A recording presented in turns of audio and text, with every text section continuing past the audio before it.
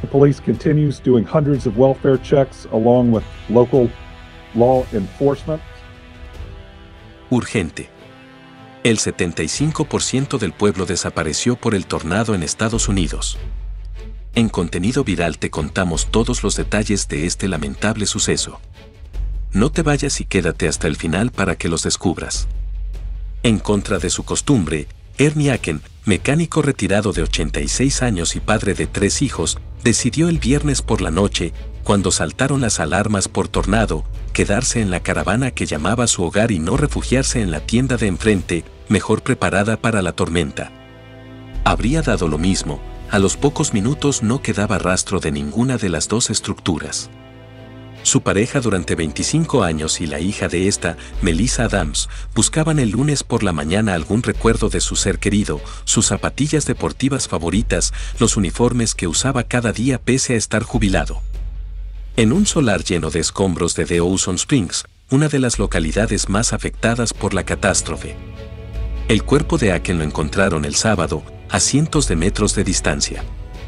Aken es uno de los 13 muertos de un pueblo de poco más de 2.000 habitantes donde aún buscan a decenas de desaparecidos. Es también la víctima de mayor edad entre los 64 fallecidos de Kentucky, según la última cifra, más baja de lo que se temía, que ha proporcionado a la prensa este lunes por la mañana el gobernador Andy Beshear. El rango de edades va desde los 5 meses a los 86 años, ha añadido con la voz quebrada por la emoción. Aún hay un centenar de desaparecidos. Tendremos que esperar una semana o dos para saber el número definitivo. En el manejo de los datos, no ha temido quedarse corto en su pesimismo. Ya en las primeras horas ofreció un cálculo por el que no asomaba la duda de que el número de muertos superaría el centenar. Tres días después esas cifras empiezan a estar en cuestión. Sobre todo, después de que en la noche del domingo un representante de la fábrica de velas Mayfield Consumer Products, zona cero de la catástrofe, dijera que habían muerto ocho personas y que otras diez permanecían desaparecidas. Beschir ha hablado durante todo el fin de semana de docenas de fallecidos solo en esa factoría y recordó en su conferencia de prensa del domingo que no habían hallado ningún superviviente desde el sábado a las 15.30 horas.